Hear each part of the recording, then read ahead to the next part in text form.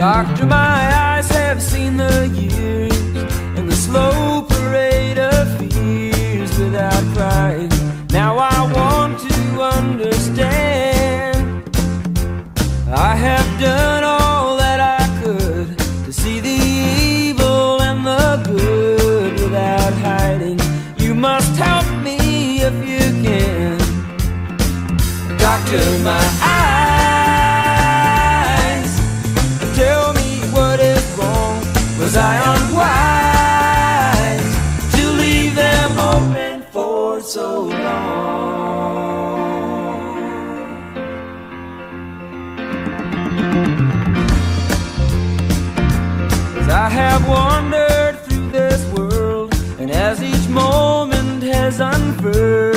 I've been waiting to awaken from these dreams. People go just where they will. I never noticed them until I got this feeling that it's later than it seems.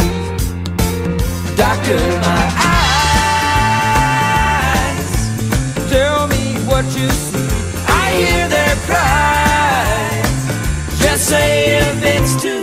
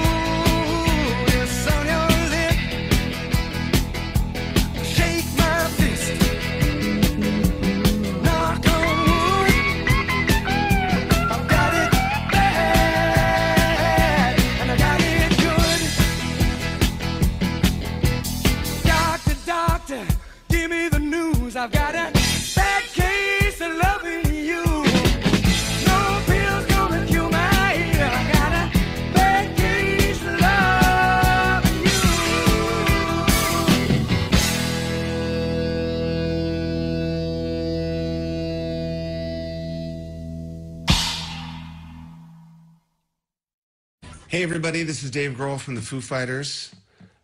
Uh, I'd like to dedicate this song to all the people out there who are on the front lines um, that are doing their best to get us through all of this. This song is called My Hero.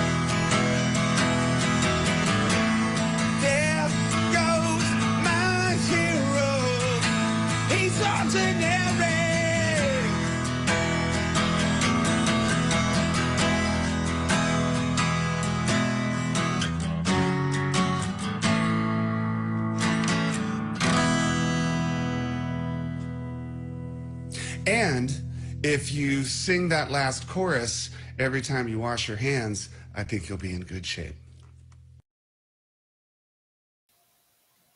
Welcome to the June 2020 virtual quarterly meeting of the Robert Wood Johnson University Hospital medical staff.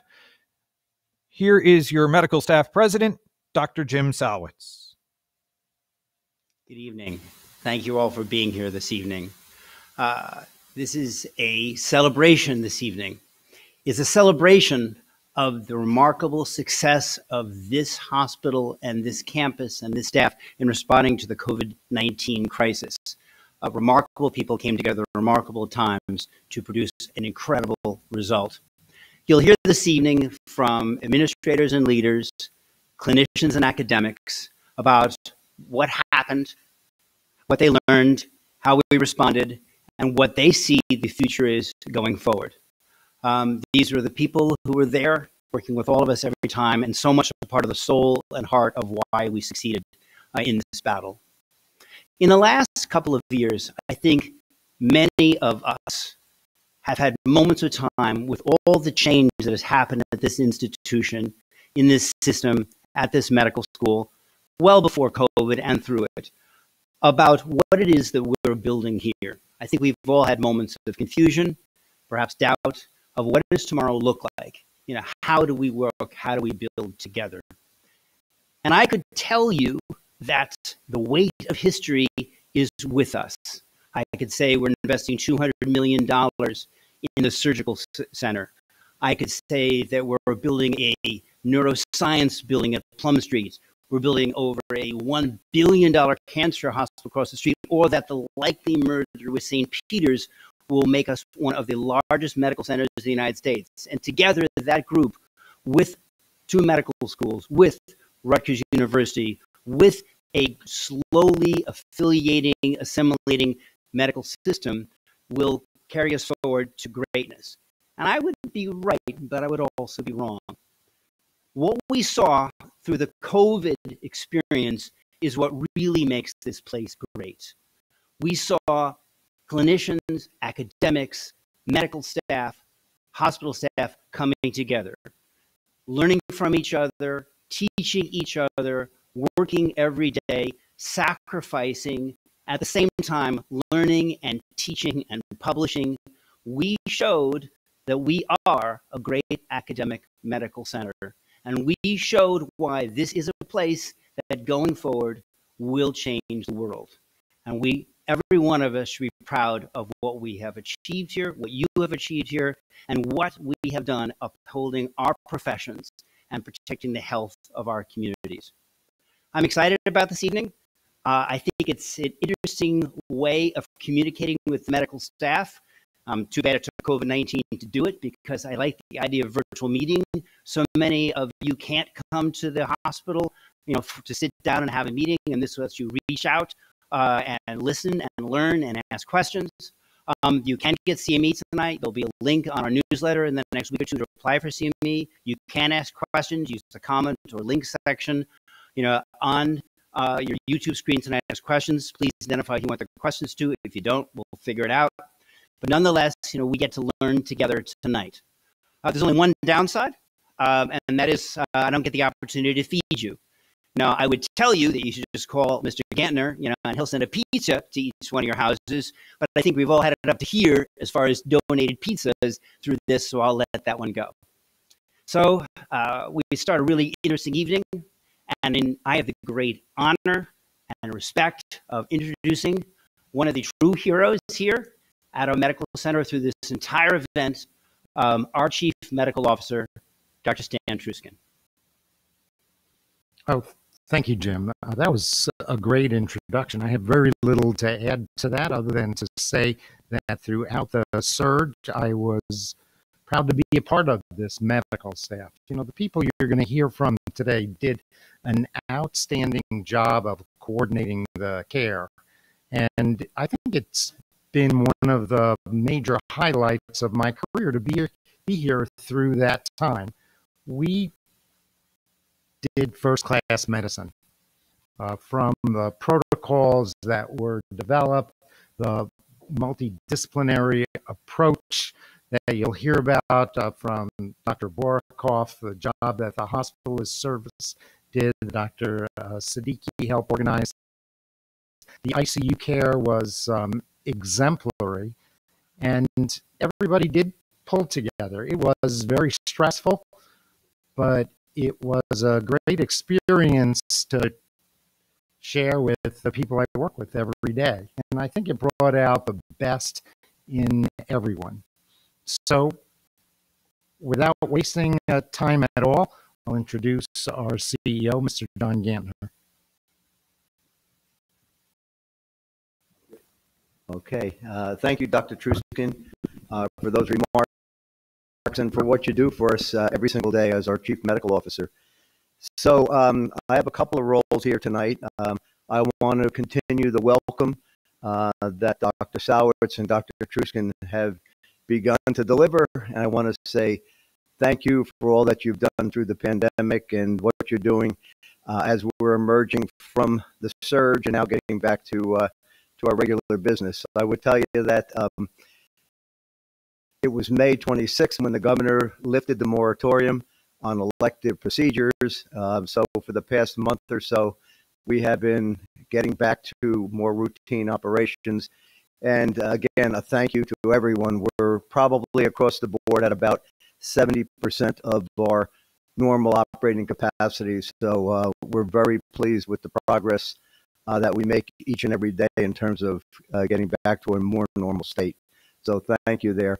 Um, I wanted to mention also as part of my introductory remarks that uh, you heard Dr. Salwitz, the transaction with St. Peter's University Hospital continues to move forward.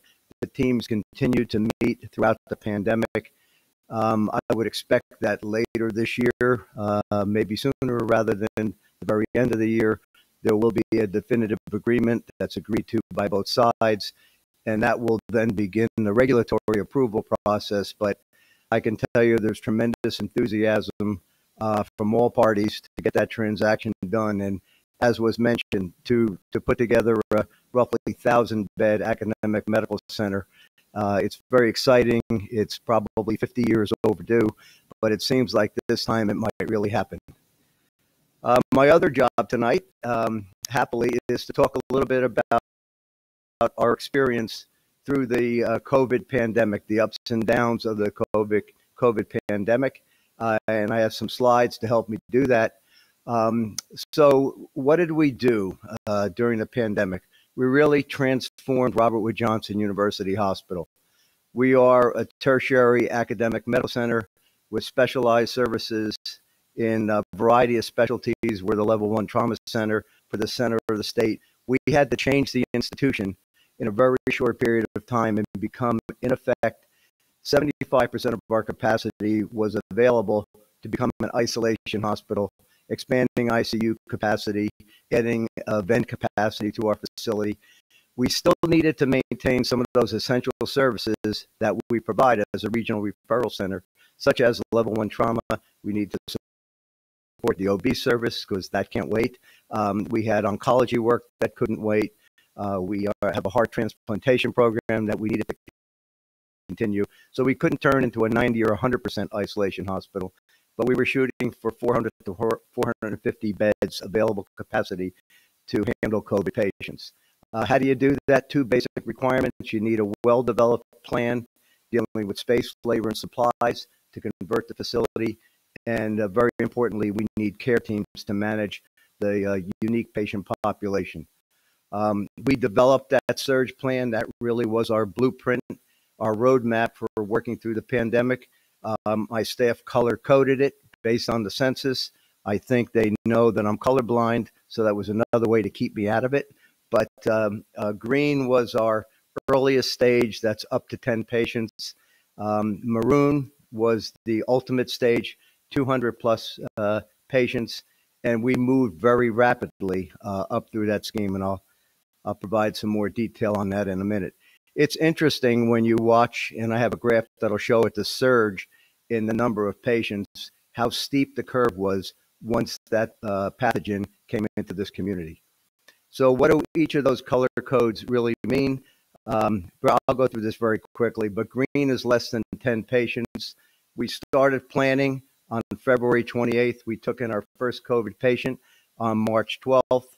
By March 15th, three days later, we had a census of over 10. So we moved from the green to the yellow. Um, when we're in yellow, it goes up to about 30 patients. It took eight days to push through the yellow. You can see some of the steps that were included in our plan when we were in the yellow zone.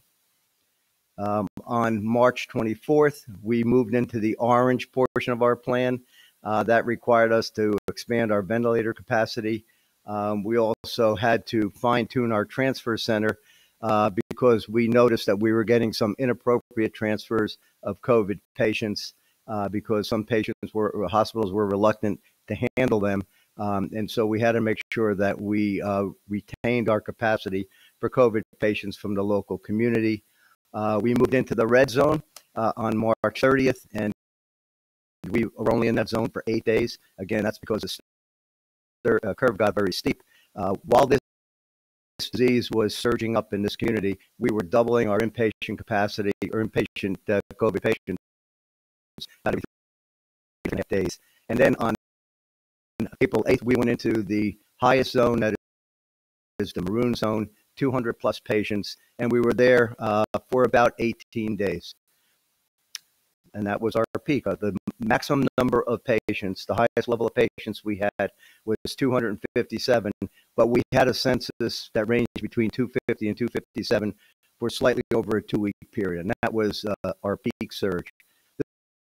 This is what it looked like um, by day uh, over the course of that period. It took us 55 days to ramp up uh, to that peak surge area. And uh, since that time, we have been on the decline. And increasingly, as the curve came down, we increasingly restore portions of the hospital back into normal operations. As of this morning, there were about 34, 35 patients listed as COVID patients. However, of those patients, only 15 were still testing positive. So the other patients had recovered from COVID, but are still classified as COVID patients because that was the original diagnosis. So that's our curve. You can see much steeper on the way up than it has been on the way down. The cohort of COVID positive patients that we have in hospital today are mostly ICU, and most of the ICU patients are vented. So these are very, very sick patients. Uh, they will be with us for a while. I think we can expect to have some modest level of COVID positive patients in the hospital uh, for a while and up until the next wave, if indeed there is one. But that's our history right there with uh, COVID 19. So, uh, what we did was we have done a lot of lookbacks to see what we've learned from our experience with COVID 19, recognizing there could well be a second or even a third or fourth wave. Uh, we did an employee survey. We did a survey of the people that worked in our command center because we did, as was pointed out on some of the earlier sites, we did set up a command center, which really becomes the central nervous system for the hospital during a pandemic. Um, so we got a lot of information about what we did well and where we had opportunity for improvement. So some of the strengths that came back were uh, the fact that as an organization, we activated our command center early. The command center was set up in the old boardroom down the hall in this administration building. We set that up well before we took the first patient in while we were still developing the plan. And we conditioned the organization to run all requests for information, all decisions through that command center. There was a lot of collaboration. I think the urgency of the situation, the necessity for collaboration between and among departments, specialties, and agencies. And when I say agencies, that includes uh, the New Jersey Department of Health as a level one trauma center. We were in, in effect appointed to be the hospital that oversaw the coordination of COVID activities among the 19 hospitals in central New Jersey. We also worked closely with the governor's office in setting up um, a surge hospital, a field surge hospital at Raritan Center. Um, and I, I was on a daily call with the commissioner of health, as were the CEOs from hospitals up north, University Hospital in Cooper, down south, uh, really to act as a sounding board to allow the commissioner and her staff and the consultants that were working with the Department of Health to take some of their theories um, and perceptions and bounce them off the field. We were the field, uh, the connection to the to the patients. Our laboratory was a big part of our successful management of COVID-19 patients. We in Hackensack were um, the first hospitals actually on the same day. Both hospitals got approval to do COVID 19 testing. That was a real advantage because if you recall back um, back then, the state was handling most of the testing. It took days or even a week or more than a week to get test results. So many of the hospitals that were at full capacity or over full capacity were holding PUIs, patients under investigation, waiting for test results. We never had a particularly large census of PUIs because we could test in house. That turned out to be just a tremendous advantage and continues to be an advantage in managing through this pandemic. Um, and we set up an inventory system very early on to keep track of PPE in particular. That was a problem throughout. That continues to be a problem. That'll be a problem going forward. there are real sh- shortages of PPE. There were some areas where we could improve, um, and I think just generally, uh, the, our, our staff, particularly the frontline healthcare workers, weren't hearing as much, getting as much information as they needed to get to keep them emotionally uh, comfortable and content. So we thought we were communicating reasonably well, but what came back was we could have done a better job. So next time around, if there is a next time, we'll make sure that some of the detailed information gets down to the front line. Um, there was a, a, request for more transparency, particularly as it relates to the availability of PPE. Um, we need to develop stuff. We need to stockpile certain supplies uh, because on a couple of days we were just a day or two away from running out of certain things. And uh, if there's is the ability to stockpile, we're going to try to do it. But most of that material still is in uh, short supply. So here's some of our stats. We did about 7,700 tests for COVID patients.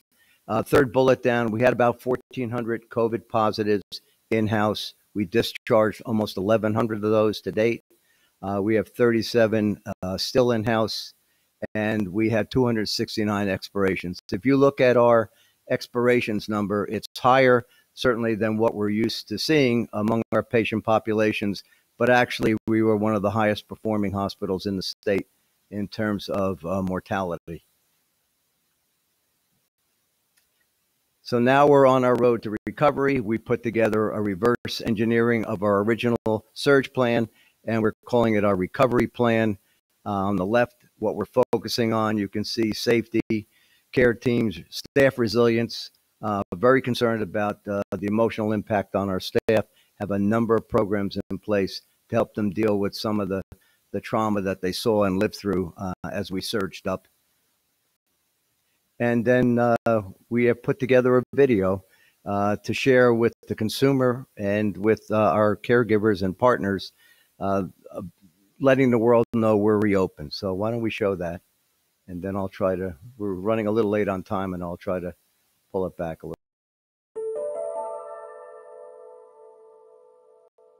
Hello, I'm John Gantner, President and CEO of Robert Wood Johnson University Hospital.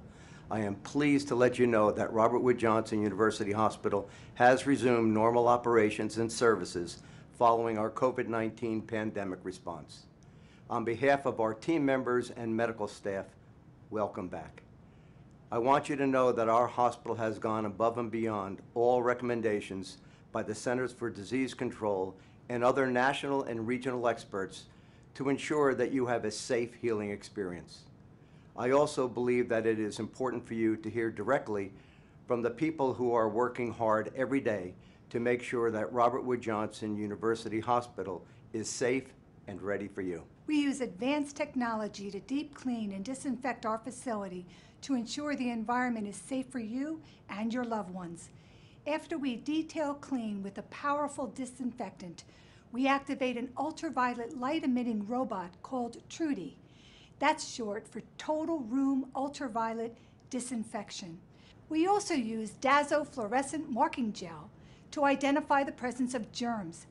And we use the System Sure Plus cleaning verification process to measure environmental hygiene to ensure that all surfaces are properly cleaned. Robert Wood Johnson University Hospital has launched a thorough screening and testing process to create a safe environment for all patients and providers within our facility. We were the first hospital in New Jersey to offer COVID antibody and COVID PCR testing to all of our employees and physicians as part of a Rutgers study to better understand the impact on hospital workers. Temperature checks and symptom screenings are performed for all patients and staff before entering our facility. All patients who are scheduled to have surgery or invasive procedures are tested for COVID 19 at our recently opened testing area prior to their procedures. Our five-time Magnet Award-winning nursing team focuses diligently on quality and safety throughout your hospital stay. We're ready to provide exceptional care for you and your loved ones. The fact is that as an academic health center, we never stop working to meet New Jersey's healthcare needs. During the peak of our surge in COVID-19 patients, our cardiac surgery team successfully performed two heart transplants, our Comprehensive Stroke Center team, Revive Brains, and our National Cancer Institute designated cancer program continue to care for patients. Welcome back. Welcome back! Welcome back! Welcome back! Welcome back.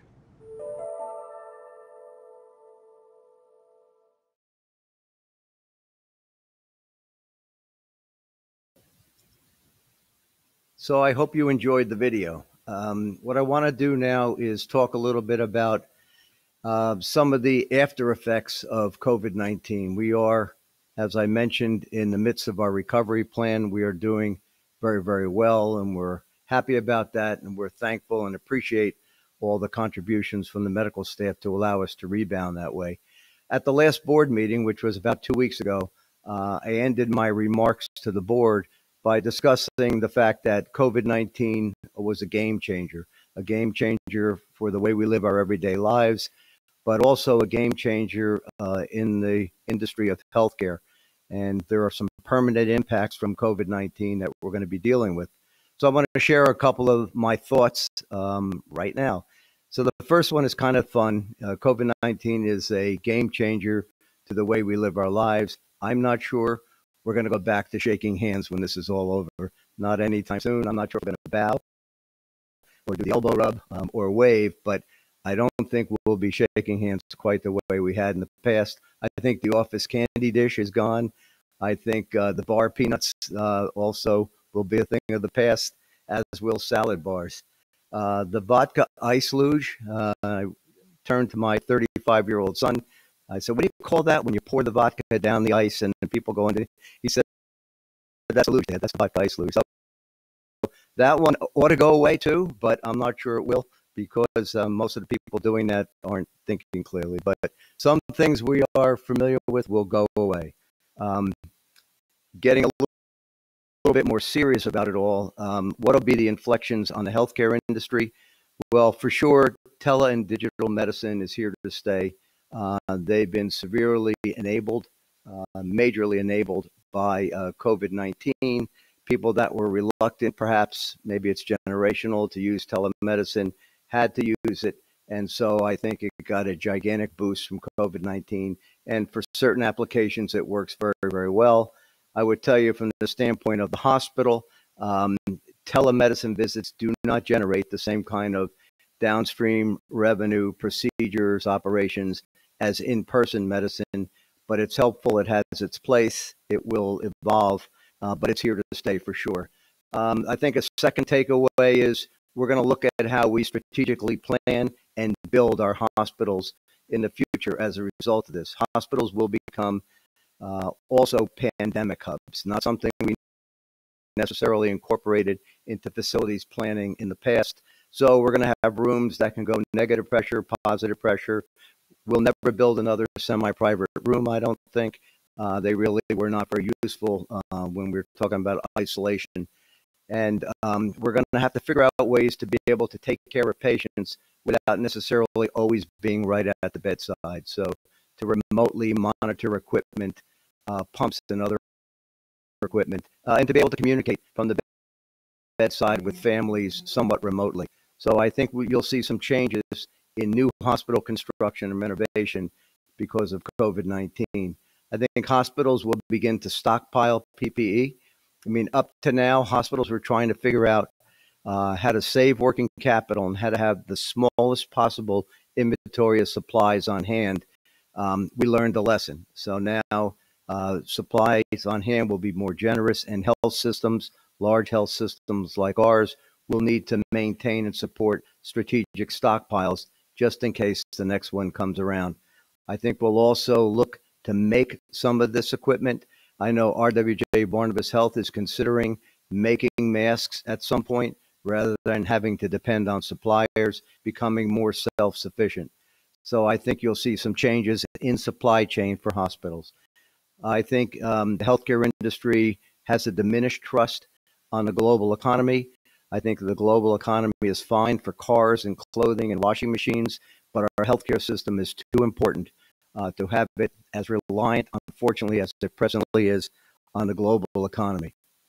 Um, more ideas, and these really are just ideas. Um, refocus. I think we should refocus our public health efforts on improving hygiene and basic healthcare practices. In the middle of the pandemic, we had to reach out to some of the vulnerable um, communities around the hospital uh, and help with basic hand hygiene and basic good health practices uh, because we were seeing surges of the pandemic in certain uh, vulnerable communities around the hospital. So I think as a country, we can do a better job teaching people uh, how to stay healthy and just um, uh, have more hygiene in their lives. Um, another big area is health insurance. So in this country, the way the financing of healthcare has developed, about 50% of the health insurance is employer sponsored. It works reasonably well. Um, we've seen a little bit of weakness in that system as employers try to save money. They've increased the portion of the cost that falls on the employee.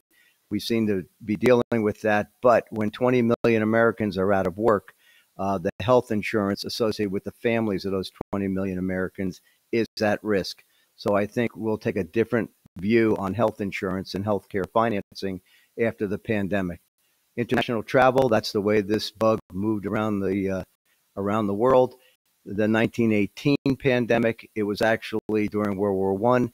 It was the movement of troops that they think helped facilitate transporting that virus around the world. And us, is we're just a very open society now, and people travel freely between and among countries. So people have talked about um, issuing and some type eventually of an immunity passport in addition to the other passport that you need to move around. And I think um, we know we need to improve our disease registries and the movement of data between healthcare providers, local agencies, departments of health, and the federal government to manage a pandemic like this. So hopefully see, we will see improvement in disease registries and data collection. Just some thoughts coming out of all this.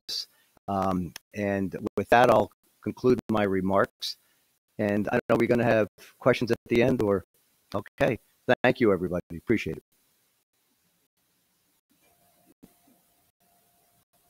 Next presenter is the Division Chief of Allergy, Immunology, and Infectious Disease, Dr. Susan Boruchoff. So I'm the Division Chief of Infectious Diseases, but I'm also the hospital epidemiologist. So as such, I've been involved in areas of planning and response to disaster um, related to infectious agents since I became hospital epidemiologist right before anthrax in 2001. This is different from anything we've ever seen before. And the response to this had to be different. So, what I'm going to talk a little bit about is the fact that this is an infectious disease, but so much of the way we responded to it had really very little to do with tackling the virus itself. This is the lead in really to the other specialty presentations that will follow, and I'll show you why. So, this virus, the coronavirus, uses its surface spike proteins to get on into cells by locking onto the ACE2 receptors. Once it's uh, inside the cell, then it reproduces itself and it then triggers immune responses to the virus. But so much of what you see in in terms of what a virus does or what a pathogen does has to do with what kind of cells it can tackle. And this virus, by using the ACE2 receptors, can infect multiple organs. Some flu strains only cause upper respiratory tract infection because they only attach to receptors on the upper tract. When you have a something that attacks the lower tract, that's when you got more pneumonia related to, to those flu strains. But this virus can attack cells in all different parts of the body. So it affects the nervous system, and um, that's why you get loss of taste and smell. It can affect the lungs. We know that that's a major target. It also can affect infect the GI tract, the kidneys, and it can cause a tremendous amount of thrombotic complications through effects mainly on endothelial cells that trigger a lot of the clotting cascade. So this is a multi-system disease, and as such, it requires a multidisciplinary approach to care. And the very first thing that we started to do happened really early with the first couple patients that we had, which is that we started doing multidisciplinary rounds every morning. And it was truly a multidisciplinary team where these were not the typical walk rounds that we all grew up with. These were um, rounds in a central location that involved infectious disease specialists, pulmonary critical care specialists, meeting with each of the teams of people caring for the COVID patients. And it started with one physician on a hospitalist service. And in line with the surge that Mr. Gantner showed, rapidly ramped up with more and more teams till we got, I think the maximum we, we dealt with was 15 teams. And in addition to us, we had people from palliative care, we had infection prevention, we had nursing from the involved units, we had people from case management, bed management, and the appropriate pharmacy specialists. And we met every single day and talked about whatever patients uh, there were clinical concerns with. And this was not only very efficient way to handle all these patients, it saved an awful lot of um, manpower or person power, shall we say, um, resources. It also gave a central place where we could then refer patients for specific treatments and trials so that we could talk about patients that might benefit from convalescent plasma and then funnel all that information to the to the hematologists or funnel information to some of the people running the, the antiviral trials. Um, and that happened in the morning, and then there were similar rounds for the intensive care units. And this was really a sort of very affirming model of medical care and one that we're not used to. And I think people felt that it was a great way to go and deliver care, but it's very much not in line with the um, way we are reimbursed for our practices. So that happened early on. That happened. That was very efficient. And I think that's part of why we had such good outcomes in our institution. So in addition to this multidisciplinary approach, I think we need to talk about collaborative care and also communication and the communication with other institutions was very helpful. So when we started seeing a surge of patients, I set up a conference call with the infectious disease physicians who practice here, and they called their friends, and they all got on the call, and we had a meeting of, I forget, I think it was either 30 something or 50 something infectious disease doctors, all on one phone call, some of whom I'd never met before, didn't even know about. And as a result of those discussions, not only did we get very much needed emotional support, but we share by sharing information, we were the first ones to find out about some of the outbreaks in day, adult daycare centers or in, in um, some of the nursing homes because that information was not at, at that point being shared by Department of Health. So by finding out what, what was happening elsewhere, we were able to target our care better. And then educational updates. Very early on, the Division of Pulmonary Critical Care Medicine started doing a weekly conference that was dedicated to educating physicians about different aspects of COVID. And that morphed from a purely pulmonary critical care um, arena into conferences on hematologic, renal, cardiac, other aspects of this disease. And this dissemination information was really key. So now I'm going to actually talk a little bit more about the virus and mostly focus on issues related to testing. I think one of the most important things that we have come to understand about COVID is that there's different stages of infection and that the approach to treatment needs to take into account what stage of infection this patient may have. So that early on in infection, the effects that you're seeing are the effects of the virus itself or the viral response phase, where you get the constitutional symptoms, fever, cough, most patients may never be admitted to the hospital. Uh, they get admitted to the hospital when they start to progress and have shortness of breath and hypoxia, or sometimes they present with clots, pulmonary emboli, or strokes, or other evidence of viral effects.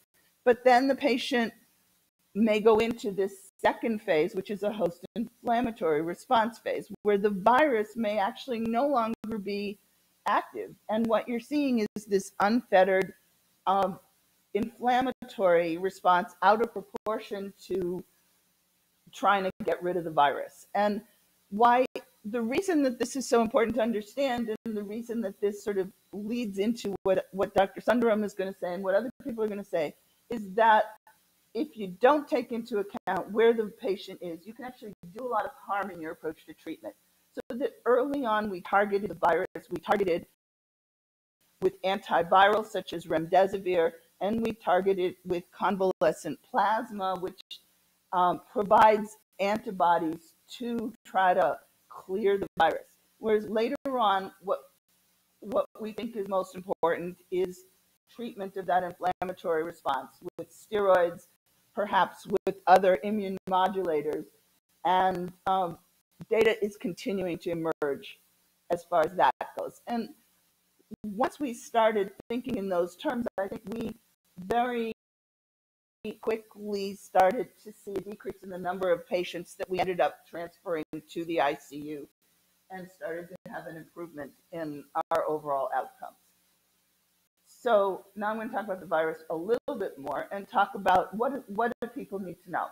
So one of the key things that when they talk about why why infections propagate, why they continue to spread in the community, has to do with this concept of R naught, which is the basic reproductive number, which says if a patient is infected, how many other people are they likely to infect? And if you have a number above one, you where each person infects more than one person, then the virus continues to spread. If you get that number below one, then the infections should start to die out. And typically they talk about COVID having an R naught of two to three. So it's somewhere between seasonal influenza and SARS and far less easily spread than measles. And this is actually from today's um, briefing by uh, the governor, where they talked about what our R naught has been in the state of New Jersey. And it's really dramatic that when we were starting to see this huge surge of patients. the R naught in the area was 5.3, which is far higher than they talk about in general with this virus. But the stay at home order was issued on March 21st. And by the time we hit our peak hospital census, uh, the R naught was about one. And it's gone down below one. And even though it's gone up a little bit recently, which is concerning, it's still below one. So that still suggests that we should be seeing a continued decrease in the number of infections in the area. This could change at any time, so don't go to bars, don't let your kids hang out, um, and take the lessons from um, Texas and the other states. So, one of the other issues, and I think it's a huge issue, is when people think about testing and they think about shedding of virus and they see people that shed for a very long time, um, people need to get a little bit better understanding of what does that in fact mean. So there have been studies that show that from, if you look at days from, from symptom onset, um, the amount of shedding goes down pretty rapidly.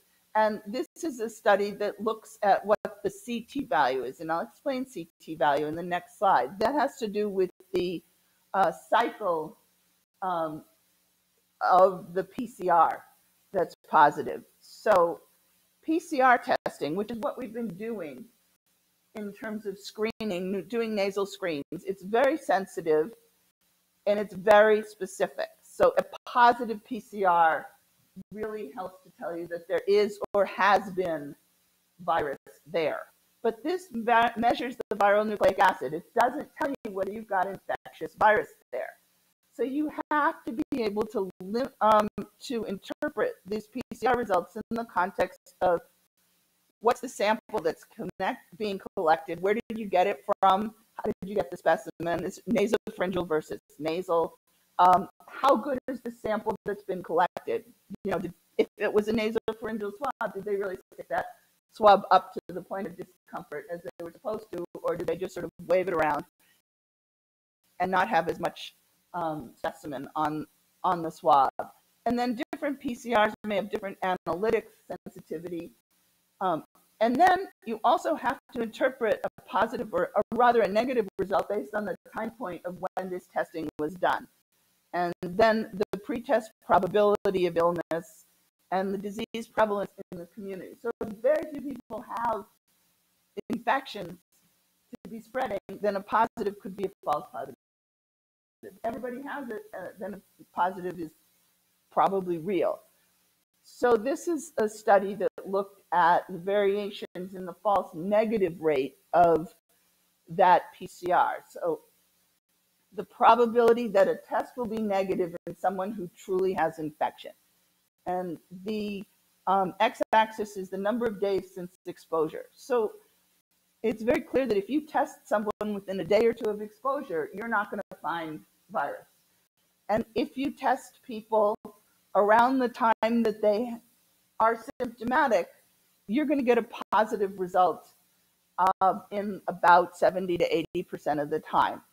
And over the next few days, that probability of false negative is at its lowest. But then once you go out a couple weeks, it starts to go up again. So if you have someone come into your ER who's been sick for two and a half weeks and their test is negative, they may be on that upswing, and that's why you're getting a false positive result, a false negative result. And that doesn't mean they were never infected.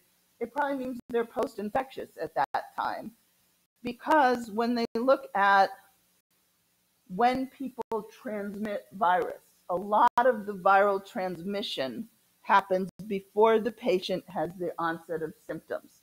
So in this study, um, the most infectious point was 0.7 days prior to symptoms onset, and that accounted for a lot of the secondary cases that we're seeing. If you're only screening symptomatic people, you're going to miss people.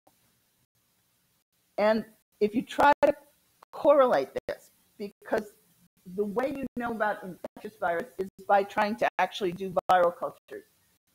One of the um, fallouts of the successful development of new diagnostic techniques for viruses is that most places no longer do viral cultures. We don't do viral cultures in our lab at all anymore. We only do rapid diagnostic techniques. So we don't have the setup to try to culture this virus. Plus, given its infectiousness, we can't do this in a regular lab. This has to be done under BL3 um, isolation type of condition. So there's not very many places that can routinely test for, for live virus.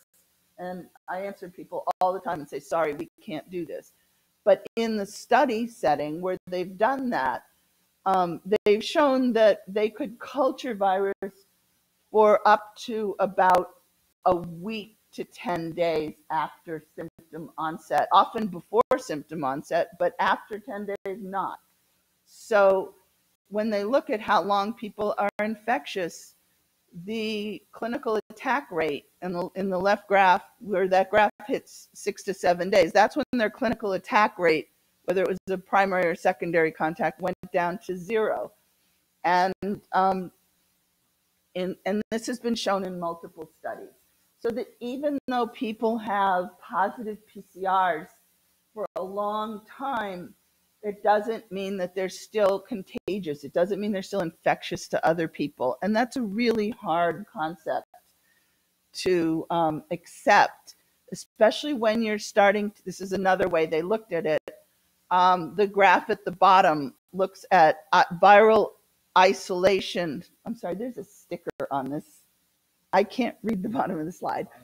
Um, it um, looks at the the ability to isolate virus based on time post exposure and also how that correlates with the amount of virus if they do quantitative PCRs. And The longer you go from exposure, the less likely you're going to get virus.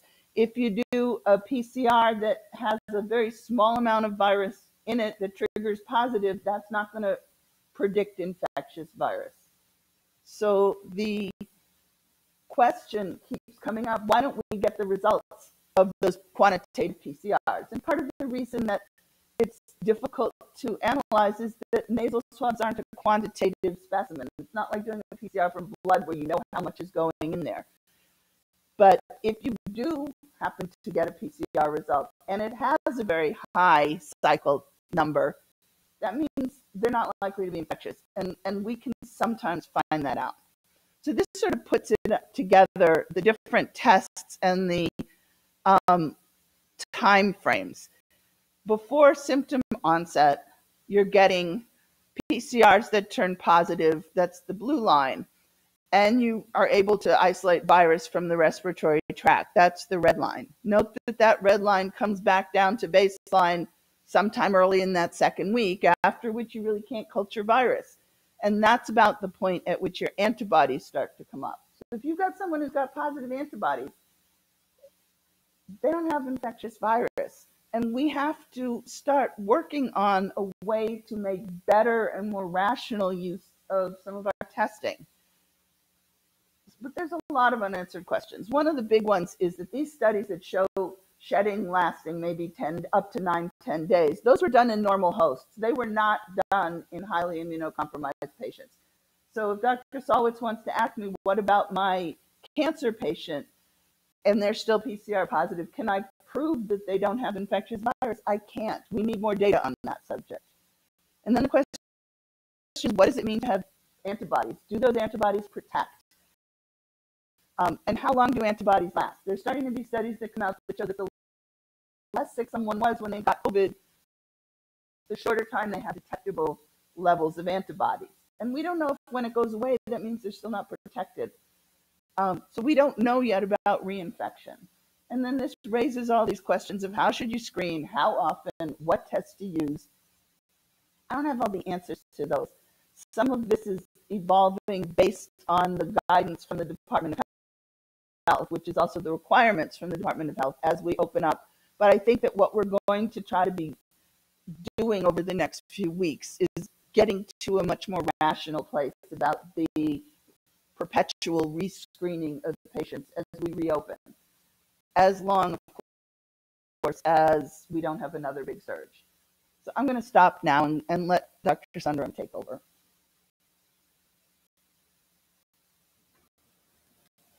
Our next presenter is the newly appointed Chief of Pulmonary and Critical Care Medicine at Robert Wood Johnson University Hospital. He's also the Medical Director of the MICU, Dr. Jag Sunderram. Uh, thank you all, and uh, thank you for giving me this opportunity to present the pulmonary manifestations of COVID 19.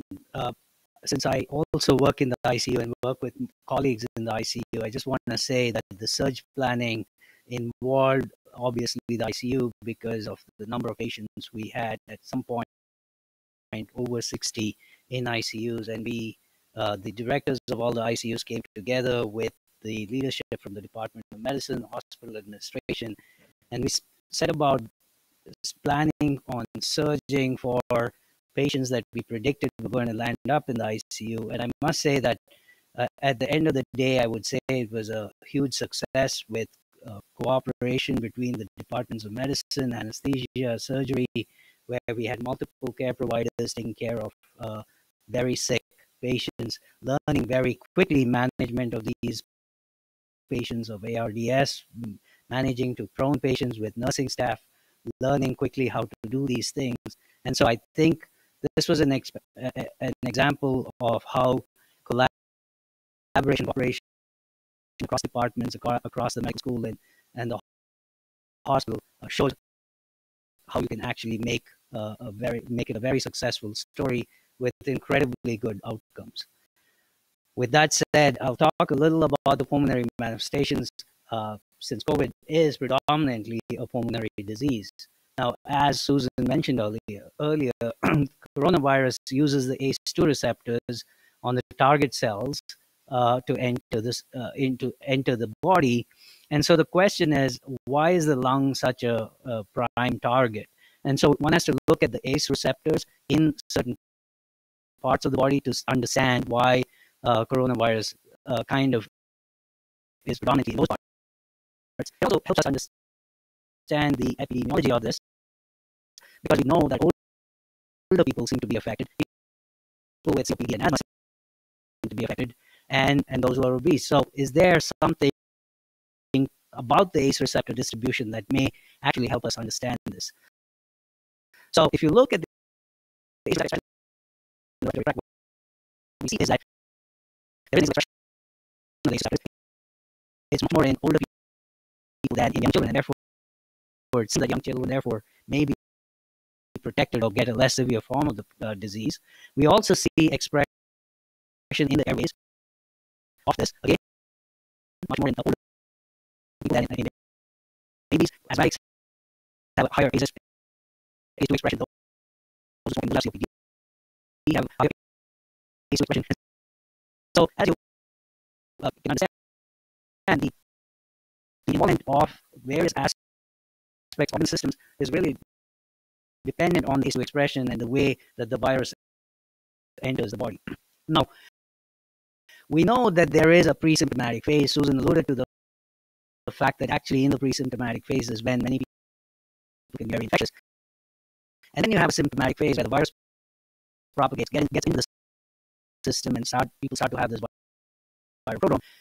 We don't necessarily in the hospital see that uh, group of people. Fortunately, hopefully they stay home and don't you know spread the disease who we see are the ones who come in and who are toxic and and that's during that slow smoldering phase of that illness that we see them in the hospital. And then during that inflammatory phase that was alluded to also previously. So uh, if you look at what's happening to the lungs even in the asymptomatic the pre-symptomatic phase of covid-19 there's data to show that actually the lungs are already involved. The ACE2 receptors within the lung have, uh, you know, the virus is propagating within them, although the patients really are not showing any symptoms, and their lab studies are generally normal. And what you see is CAT scan evidence so what we call ground glass opacities, especially in the periphery. There are these rounded densities. They usually can be uh, on one side or the other, unilateral, bilateral, and maybe just peripheral and affecting one of those. So Here's an example of CAT scan images of patients who have COVID-19 but who are pretty asymptomatic. But if you did CT scans on them, you see these ground glass densities that are present in either the upper or lower lobes, which are peripheral and ground glass. And then you have the symptomatic phase where they classically the virus is starting to propagate, the patient start to get a sore throat, myalgia, fever, and cough. Now, it's during this phase that you can also continue to see CT findings. And again, you may see a normal CAT scan, although as the progression happens and as the disease continues and as the duration of symptomology continues, you start to see more and more changes in the CAT scan of consolidation of bilateral disease, uh, uh, continued peripheral distribution. But then in the later phases is when you start to see linear opacities and much more diffuse disease bilaterally, where you start to worry about the manifestations that lead to severe hypoxia and ARDS. So in this is an image actually of a patient that we had who presented early in this hypoxic phase of illness, the silent hypoxic phase. And as you can see, the chest x-ray seems to show some densities in the periphery. You do a CAT scan, the coronal images, uh, uh, the uh, match what you see on the chest x-ray, and you see much more clearly those ground glass densities that are peripheral, and it's pretty diffuse in this situation in this patient, both upper and lower lobe. Um, what these people generally do then, they get admitted, they're on the floors, they seem to require some low levels of oxygen, they feel somewhat short of breath, but not necessarily all the time. They can be quite tachypneic, but otherwise comfortable looking. They do have a lot of difficulty mobilizing thick secretions, and that's important to know because this phase uh, is where maybe some things could be done pulmonary wise that could prevent uh, the progression to ARDS and ongoing uh, inflammatory responses. This can last for uh, several days before it progresses onto the uh, inflammatory So you have this slow smoldering phase, the same patient now, second and third day, you start to see that that infiltrate has become much more, uh, uh, has started to become more central. You start to see more diffuse involvement, perihilar and pericardiac involvement uh, of opacities. And, and you start to see these uh, um, areas where in the peribronchial areas you start to see uh, densities and opacities, suggesting that there is ongoing bronchiolitis and alveolitis that uh, leads to that mucus production. And here's where you start to see more and more hypoxia.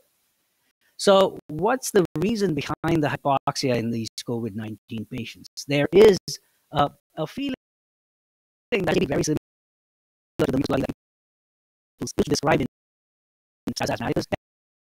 You know, the periodis, the branches of bronchial trees were plugged with mucus in these asthmaticals. Uh, the question all those that utilizing of dilated is not very helpful. However, the peripheral airway is an but it starts more alien hyperemia airways that anticipate mucus, mucus infection, and bronchial edema. That, that's the reason that it leads, this leads to ventilation perfusion mismatch, absent ventilation, but persistent perfusion, and that persistent perfusion may be again a part of the manifestation of COVID 19, where maybe deficits in how uh, the normal hypoxic vasoconstriction is affected in patients, leading to severe hypoxia.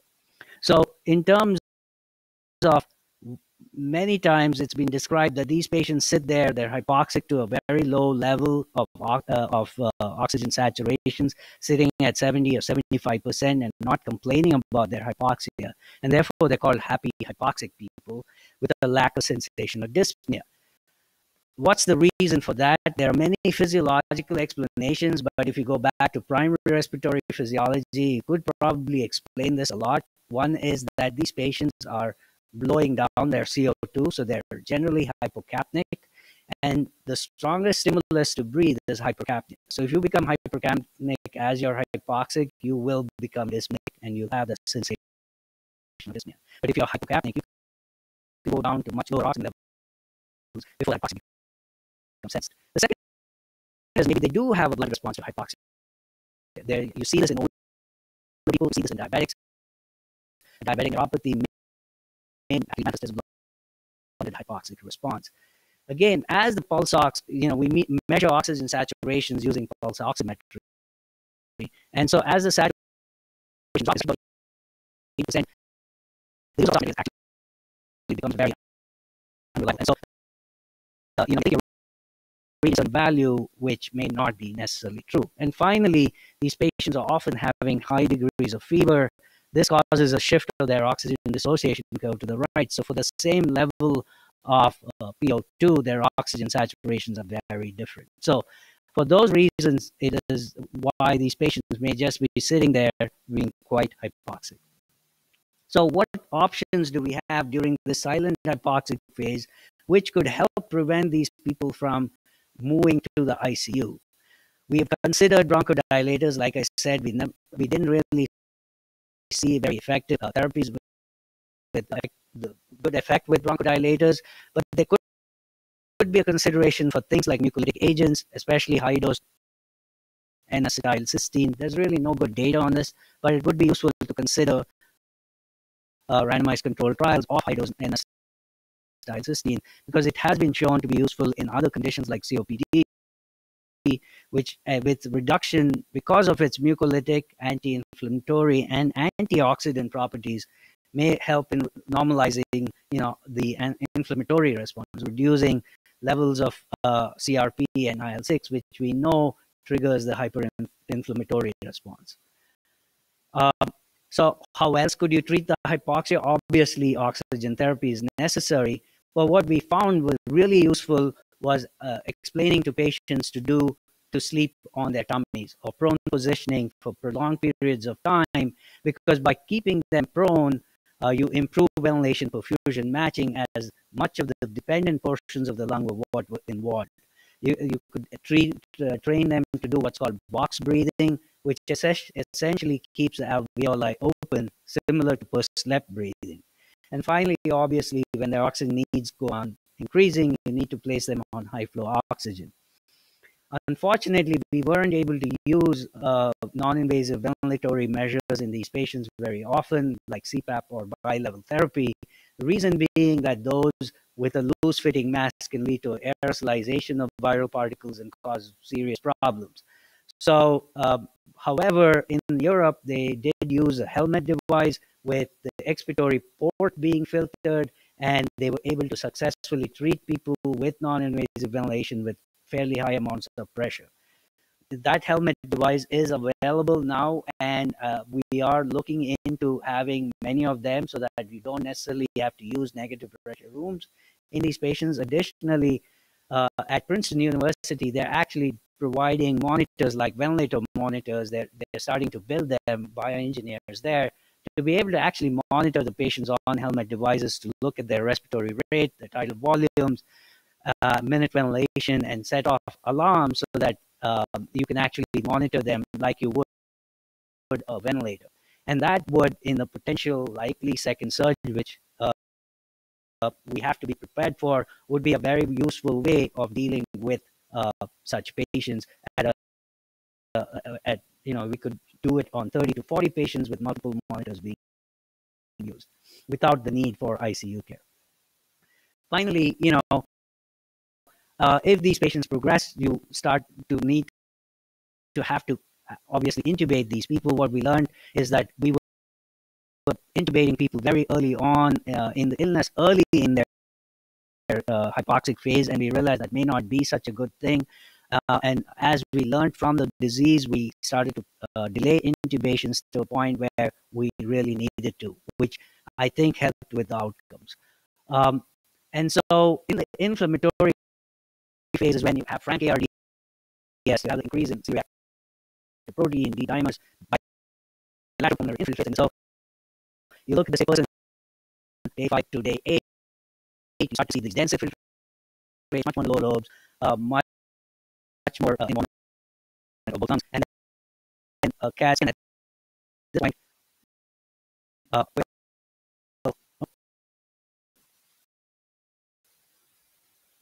Chris, does that work? The video?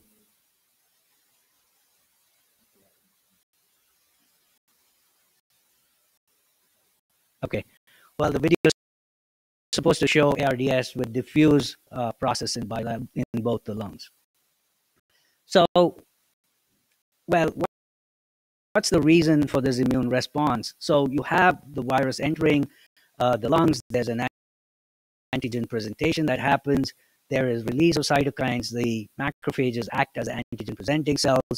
And then you have the usual cellular humoral mediated immune response. So the humoral response is important for the, for the antibodies that you detect, the IgG and IgM, for the presence of the pre-infection. But the T cell response uh, also is, is important in trying to get rid of the virus. But if there's an overactivation of this immune response, you get what we call cytokine storm, and that's what's been described in these patients, leading to the process of ARDS. So, if you have an inflammatory response to this viral infection, you could either have a protective process uh, where you have early interferon gamma response, and that leads to survival and a protective immune response with minimal epithelial and endothelial cell death, uh, reduced uh, vascular leak. But if, on the other hand, you have a delayed immune, uh, a delayed interferon response, and you have inflammatory cytokines being released by the pro-inflammatory mediators, then you have a huge uh, uh, change in epithelial and endothelial structure. You have damage to them, you have vascular leak that leads to the ARDS that we see and need for mechanical ventilation and uh, uh, and essentially puts them at high risk for death. So, like I mentioned, under normal circumstances, if you had the normal immune responses, you should not necessarily see this massive surge of cytokines, the release of uh, mediators that leads to lung injury. But on the other hand, uh, unfortunately, the, the cytokine storm that, we see in many of these patients leads to ARDS. And also in pulmonary vascular abnormality in the thrombotic process that, that Dr. Phillips is going to talk about in these uh, patients.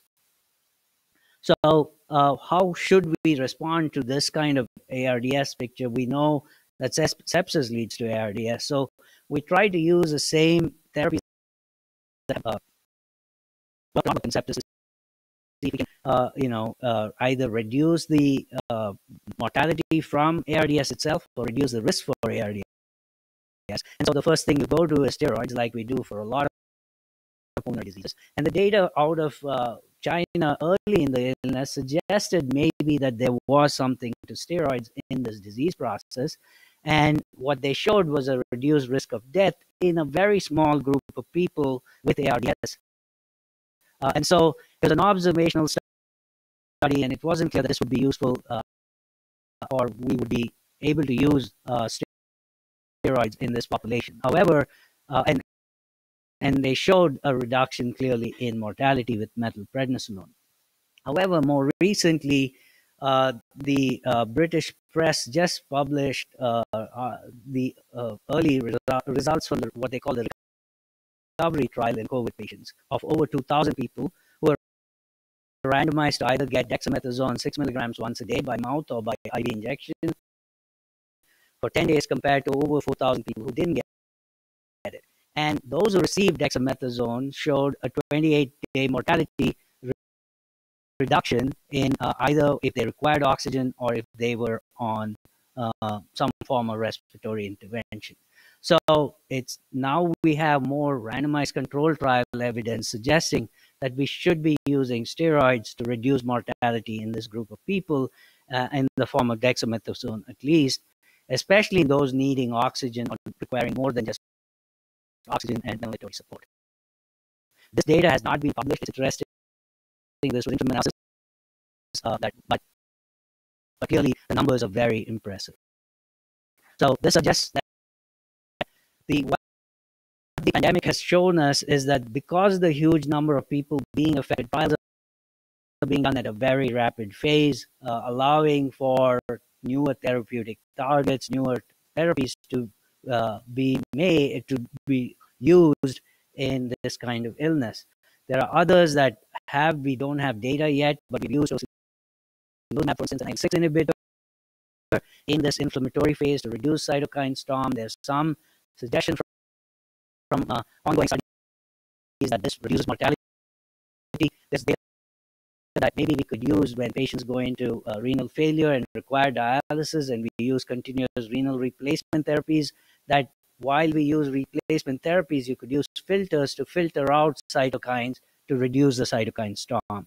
Again um, we don't have enough evidence to do it on a routine basis but there's ongoing research on that.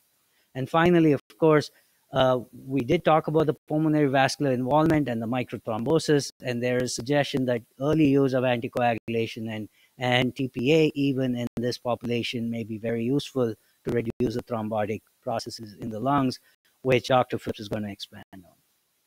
And I'll stop there.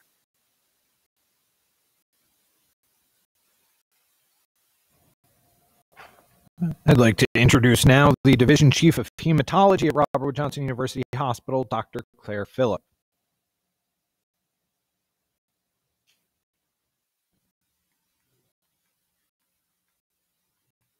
Uh, good evening. It's a pleasure to be here to talk about COVID associated uh, coagulopathy and thrombosis. So, uh, about the third week of April, uh, the Washington Post and some other uh, uh, journals alerted the public to the clotting, blood clotting complications that were being observed in coronavirus patients. And they said it crept up on us. Well, that is actually true in that it was initially unrecognized in the first few weeks of the New York of the New York surge in March. But by April, here at Robert Wood Johnson University Hospital, there had already been considerable buzz among our own pulmonary critical care colleagues, among colleagues external, externally in the thrombosis community, And we already had developed with multidisciplinary um, input a COVID anticoagulation protocol that was already deployed at Robert Wood Johnson University Hospital. So abnormal coagulation and other hematologic parameters are associated with poor prognosis in COVID patients. And that's been recognized by, in a number of studies, uh, particularly from China. And so what we see is that uh, the D dimers, IL 6, are increasing uh, with time from illness onset. And there's a big difference between survivors and non survivors. Lymphopenia is observed uh, worse in uh, non survivors, as is uh, increases in LDH and serum ferritin. Fibrinogen also increases in patients with COVID in most, most of the cases. In a small proportion of cases, uh, when multi, uh, multi-organ failure is uh, incipient, some of them develop actually a hypofibrinogenemia. But in general, COVID coagulopathy is somewhat different from classical DIC, and an elevated fibrinogen and elevated D dimers are, are uh, observed. There are minimal changes in the PT and APTT. As a matter of fact, if you use the INR, you may miss the elevation in the PT uh, because it is that subtle. Thrombocytopenia is not prominent, and elevated IL 6 levels correlate with elevated fibrinogen levels. The coagulopathy is related to the severity of the illness and inflammation, not viral activity. And there's a marked D dimer elevation which precedes multi organ failure and overt DIC. And another manifestation that has, has been observed is that patients with COVID do not commonly have bleeding complications. What's been found in based on autopsy studies is this issue of microthrombi and microangiopathy in the lung.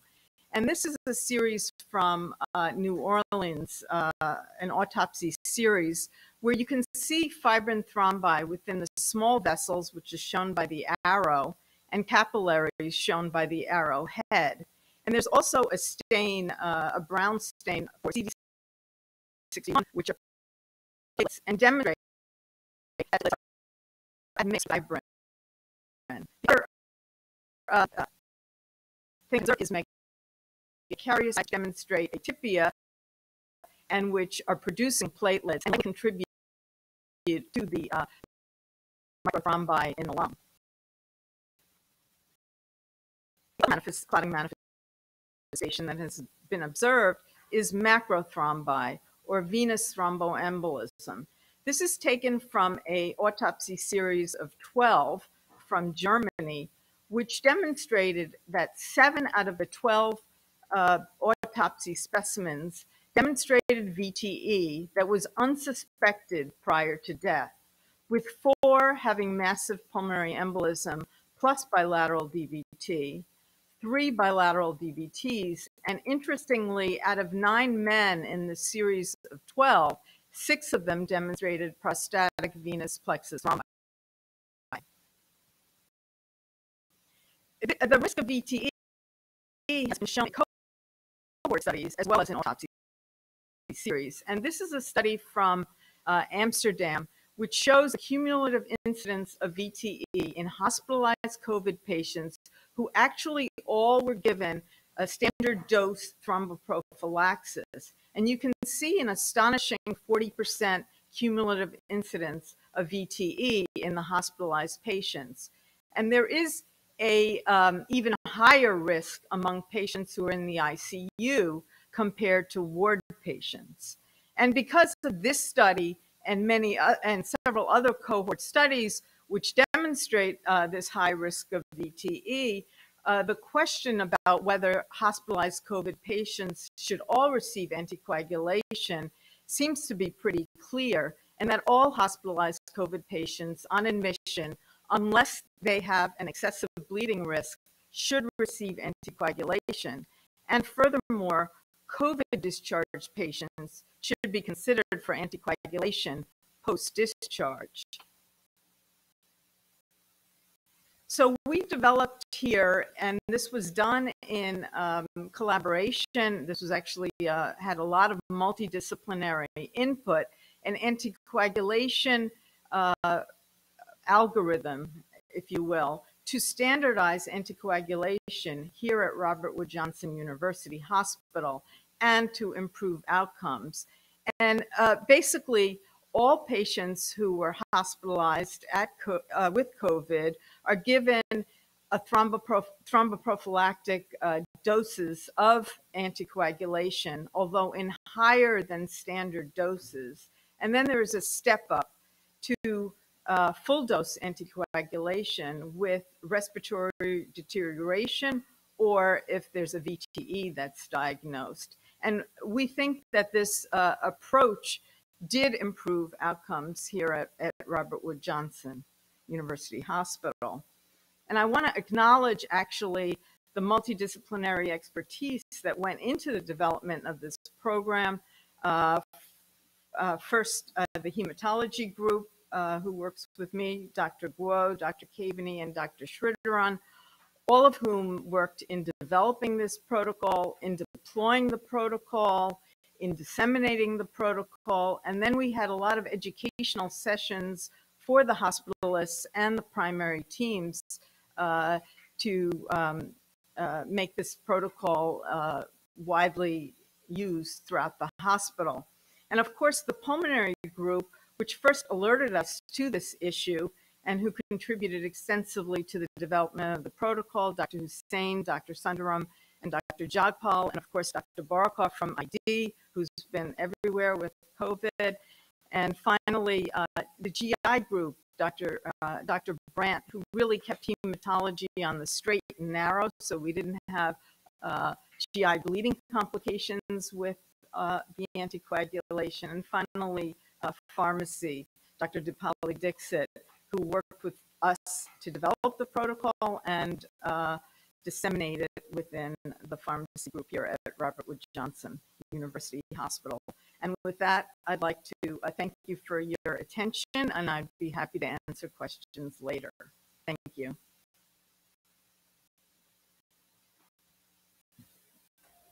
Another known complication from COVID 19 is kidney failure, and here to talk about that is the Division Chief of Nephrology, Dr. Richard Mann.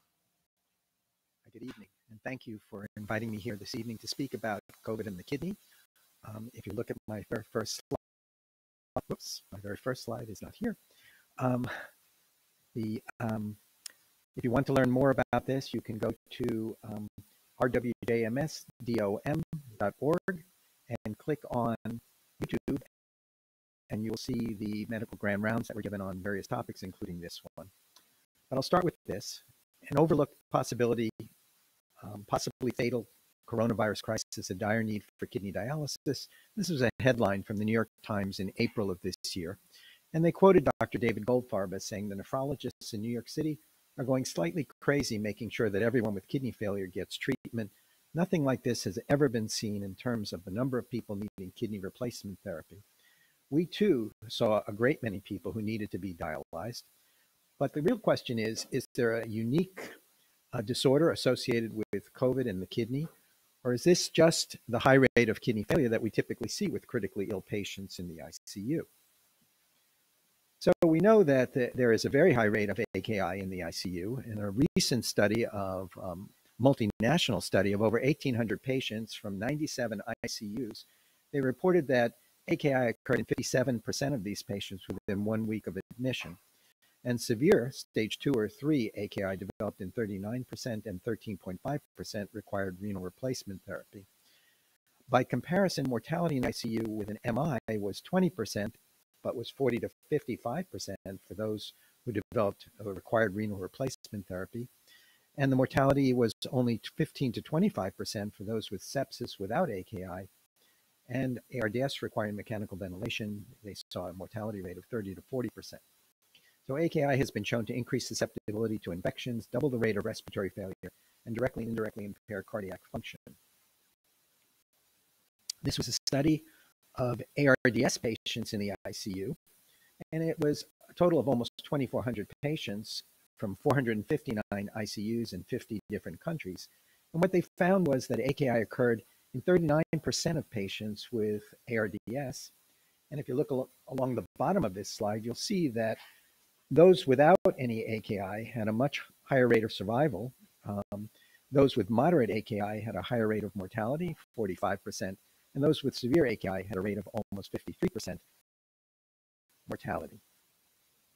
There is a lot of crosstalk between the kidneys and the lungs, and we know that the kidneys can cause ARD, kidney failure can cause ARDS, but ARDS, which is a major manifestation uh, in patients with COVID, also causes acute kidney injury, and it does through, this through a variety of mechanisms, including the release of pro-inflammatory mediators from injured lung. We also know that hypoxemia and hypercapnia reduce renal blood flow in a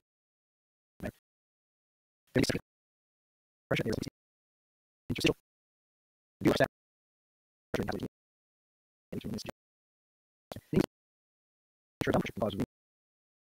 compression. And finally, increased sympathetic activity can cause renal artery constriction. All of this is associated with ARDS and can cause acute kidney injury. Here we see a series of studies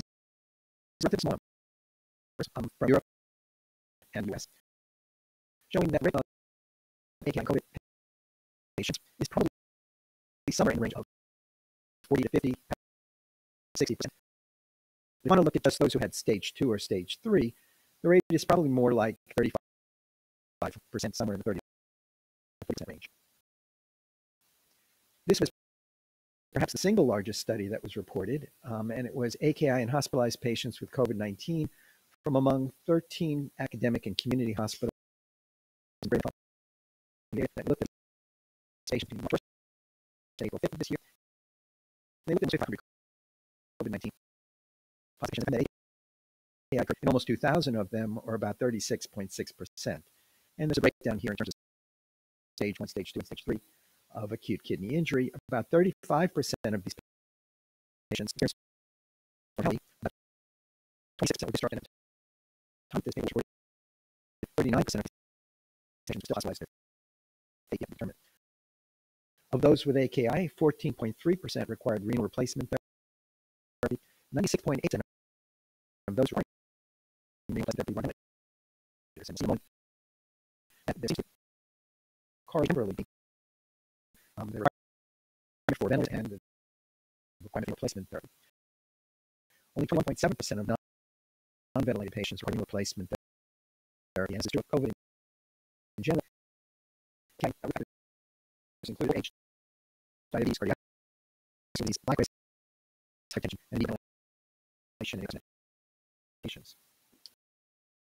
Those who required ventilation and developed AKI, more than half of them developed AKI within 24 hours of intubation. So there seemed to be a great correlation between the response to the infection leading to requirement for intubation and the requirement for renal replacement therapy. And as shown here, the severity of AKI correlated very well with mortality in this large study, with um, the green bar being those who were discharged. Um, I'm also colorblind, and my wife had to tell me that was a green bar. Uh, the green bar um, uh, resulted in AKI um, stage three. Very few of them ended up discharged. Um, over 50% of them died, and close to 50% of them were still hospitalized at the time that this paper was reported, whereas with no AKI, the rate of mortality was probably in the range of 5%, and the vast majority had been discharged. So the true incidence of AKI is hard to know because we really don't know the denominator of patients with COVID-19, but at least it appears that in the ICU, it's probably in the range of 30 to 40%. However, there's probably a much higher rate of renal involvement early on, just as Dr. Sunderram mentioned that you can have involvement of the lungs before it becomes clinically apparent. A number of studies have shown that patients arriving in the hospital have a significant rate of hematuria and proteinuria, um, and we found that to be the case as well. Um, and they, we also have uh, seen in the literature that AKI, hematuria, and proteinuria all are associated with an increased mortality in COVID 19 patients. So, this comes from a study out of China in which they demonstrated that the patients who had heavy proteinuria had a hazard ratio that was significantly elevated for mortality. Also, those with hematuria. Um, those who had a peak serum creatinine above 133 micromoles per liter, which converted to a unit that we're more familiar with would be about 1.5 milligrams per deciliter, had an increased rate of mortality, and again, progressively increased hazard ratio for mortality with increasing severity of AKI. So, what are the causes of AKI in COVID 19 patients?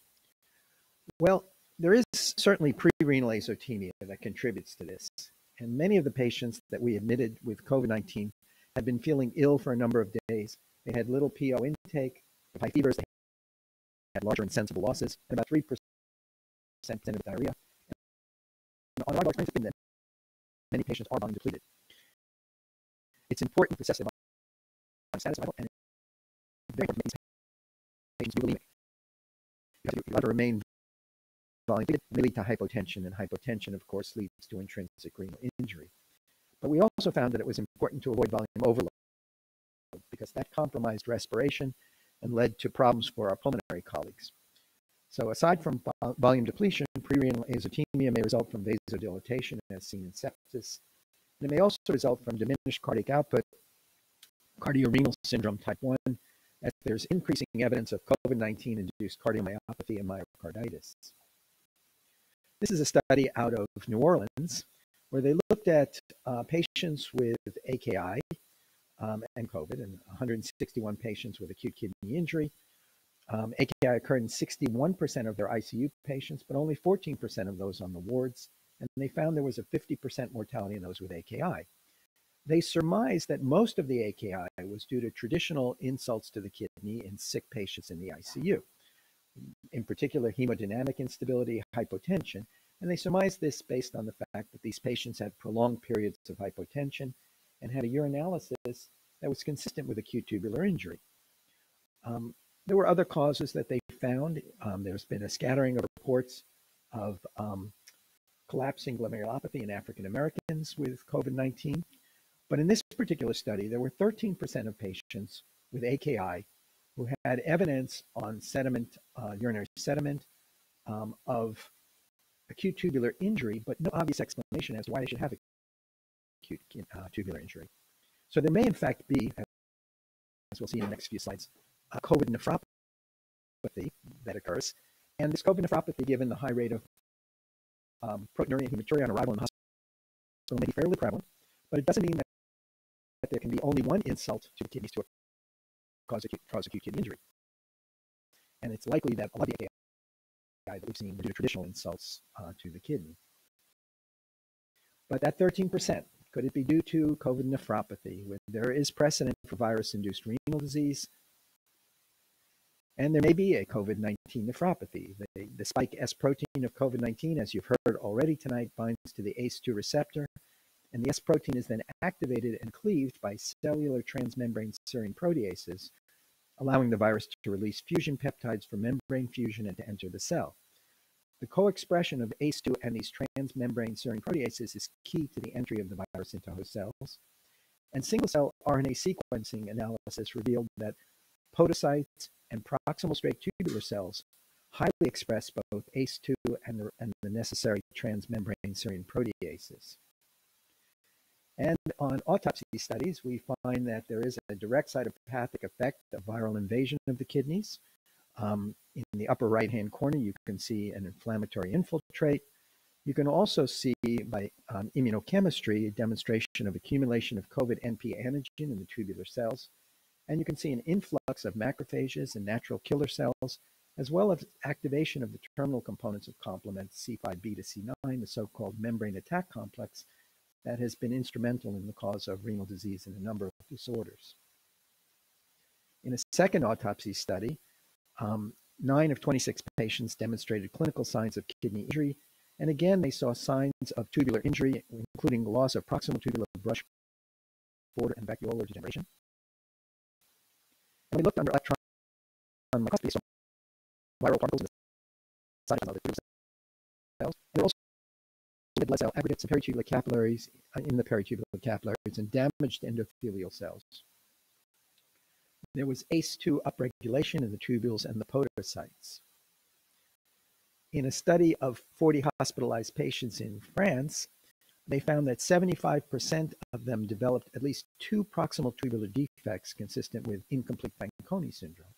And Fanconi syndrome is a disorder in which the proximal tubulars of the kidney is injured, and the things that are typically reabsorbed in the proximal tubule therefore leak downstream and out into the urine. And these would include protein, phosphate, uh, uric acid, and glucose.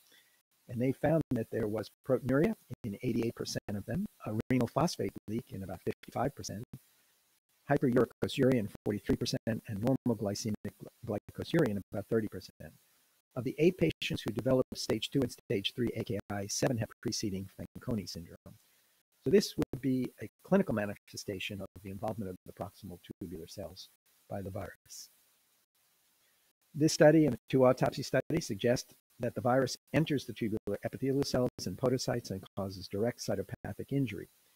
Viral invasion in the kidneys is associated with red blood cell aggregation in the peritubular capillaries.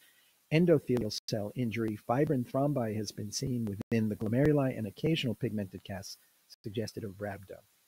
There's an influx of inflammatory cells, including macrophages, NK cells, lymphocytes, and activation of complement with the formation of the membrane attack complex. Now, as far as dialysis goes for COVID-19 patients, we did have to dialyze a large number of patients, but the indications for dialysis were no different from those that we see in non-COVID patients. There appears to be a higher rate of clotting of filters, no big surprise since these patients are hypercoagulable. And Dr. Philipp already presented um, an algorithmic approach such that we were um, heparinizing these patients. Um, in our experience, the need for renal replacement therapy often arises in intubated patients on pressor support, and therefore we were mostly providing CVVHD as the most common type of renal replacement therapy. And in those who require intermittent hemodialysis treatment, we, we used, um, whenever it was medically appropriate, only three hours of dialysis twice a week um, in order to limit the exposure of the staff to the virus. So in summary, I think there are more questions than answers. Um, renal involvement characterized by proteinuria and hematuria is very common in hospitalized COVID-19 patients and carries an increased risk of mortality. AKI is seen in about 30 to 40% of all COVID patients in the ICU and can be caused by hemodynamic changes, the cytokine storm, organ crosstalk, and possibly by direct viral invasion of the kidney. And I would point out that very often with AKI in the ICU, it's not a single renal insult, it may be one or all of the above. Whether AKI occurs more often in critically ill COVID 19 patients than in critically ill patients without COVID 19 infection is unclear. The rate of AKI mortality is high in both groups, and that New York Times headline with which we began may simply reflect the overwhelming number of patients with COVID-19 rather than a higher proportion of such patients with AKI. There is a large multi-center study in progress to learn more about renal involvement in COVID-19 patients. Co-investigators at Robert Wood Johnson University Hospital include Drs. Puri, Ahmed, and Radbel. So I'd like to say thank you, the faculty of the Department of Medicine, along with our residents and fellows, have been on the front line throughout this pandemic, during which over 1,100 COVID patients were hospitalized at Robert Wood Johnson Hospital. Thank you for giving us this opportunity to speak about what we've learned from the literature and from our firsthand experience. And with that, I'm going to hand this over to Dr. David Fischler, who will speak some more about the lungs and COVID. Thanks. Now, as we've been treating COVID patients here at Robert Wood Johnson University Hospital, our private practice physicians here on our medical staff have faced challenges of their own. Here to speak about those, Dr. David Fischler from Pulmonary and Intensive Care Specialists of New Jersey and the Associate Medical Director of the MICU here at Robert Wood Johnson University Hospital. Good evening, everyone. Uh, I wanted to spend a couple thanks out to a couple people before I get started. First and foremost, I want to thank my wife and kids for not throwing me out on the street after I was infected in mid March and for sticking with me. Uh, secondly, I want to thank my partners in my practice from Pulmonary Intensive Care Specialists of New Jersey. A great team effort to get through this together. Uh, also, want to thank Dr. Salwitz for inviting me to speak. Uh, we have some amazing stories from the medical school about what was done to get through this, but there are also stories from the community that need to be told. I also want to thank Dr. Sunderram for working so hard with me in the MICU to get through this. And lastly, I wanted to thank uh, Dr. Ronnie Bachner, who put a lot of stuff out on video about the challenges that we were all facing out in the community and the things that we needed to do to get through this. So I remember it was early March, and we started getting sick visit calls from people who were coming off cruises saying that they were sick with fever and cough. And I remember on March 5th writing a policy in our office saying we are not seeing any sick visits anymore. People were then screened. If they were sick, they were getting called in for antibiotics. They were not being brought into the office. Soon thereafter, we began a series of Zoom calls to try to figure out what we were going to do as a practice to try to get through this and what we were going to do to face these challenges. One of the things that people need to remember for those of us in the community who did telemedicine was that it was our job first and foremost to keep our chronic patients healthy, to keep them out of the hospital. If these patients did not get the care that they needed, these people would overwhelm what was going to already be an overwhelmed system. And we had to figure out the best way to do that. Also, as a group, we had to figure out what we could do to volunteer to help. And we really wanted to get in there and help. In addition to our commitment in the MICU on Team Silver, we worked at St. Peter's on COVID teams, and I even did a week as a hospitalist uh, for the medical for the medical service to give those doctors a break. But there were lots of other volunteers in the community that should be noted. A lot of the community pulmonary critical care doctors, Dr. Patlori DaCosta, Devanzo, and Dr. Ahmed, and Dr. Miramad worked on COVID teams at St. Peter's. And unfortunately, none of them were infected, got better, and then went right back out there. In addition, our community hospitalists really worked hard to check chip in with patients who were unassigned because our medical school was overwhelmed with COVID patients. Lastly, our friends in ID care were instrumental in getting hospitals such as St. Peter's and Robert Wood Johnson Somerset organized and creations of COVID teams to keep those places from being overwhelmed as well. So, getting back to my practice, Dr. Gilbert was in charge of finding all of our cleaning equipment, and Dr. Hutt was in charge of finding as much PPE as he could find on the internet. At the time, we made a schedule up to prevent each other from seeing each other because we didn't want to get each other sick. Our commitment to the MICU was very important to us, and we did not want to get each other ill. Of course, that was blown out of the water after I got sick. However, we still found a way to avoid each other tremendously only one doctor in the office at a time, not seeing patients together, not rounding in the hospital together. These schedules are instrumental for us. What we needed to do in the office was to keep it running. We needed to keep open. We needed to not be able to close because, as I said, our patients needed our care. So we were committed to keep our staff employed. Luckily, we were able to secure a PPP loan, which kept our employees with us and again, as I said earlier, we ramped up our telemedicine visits. We were seeing upwards of 15 to 20 telemedicine visits a day, each of us. Thankfully, our EMR vendor was really, really good at helping us figure out how to negotiate our payers and what was going to be reimbursed to us. But also, we were using uh, platforms such as Doxy.me and Doximity. So we were able to add video to nearly every single one of our visits, which was instrumental in making sure that we were doing okay.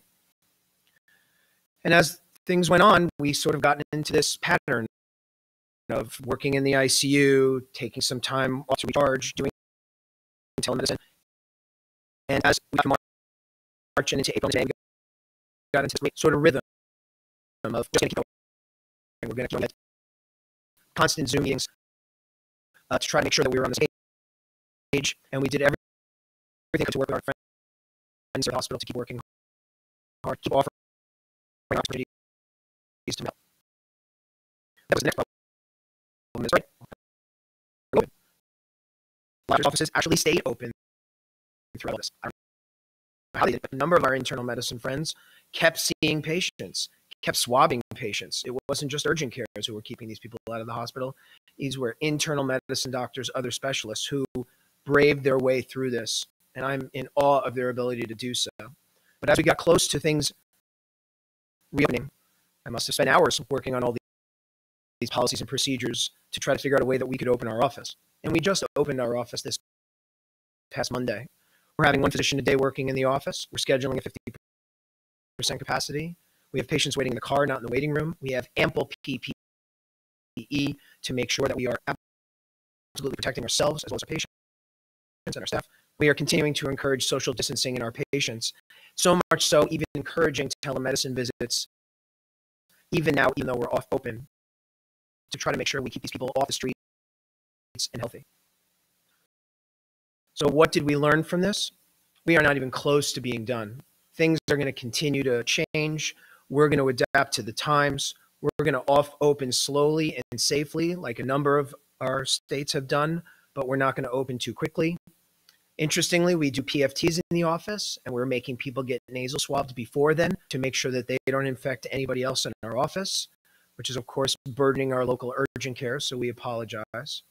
But most important to me, as a community doctor who has worked so hard in the MICU to create an environment where we can work together, the medical school and the community together can do great things. And I'm hopeful that the lesson learned, hopefully from both ends, is that there are people who want to help, that we can use all the people in this physician community to get through this. And in the end, it is believe, I believe that the volume of doctors and the quality of the doctors is one of the main reasons that Robert Wood Johnson did not get overwhelmed like so many other hospitals in the state because we were able to work together. I thank you for your time and I wish everyone good health and good luck.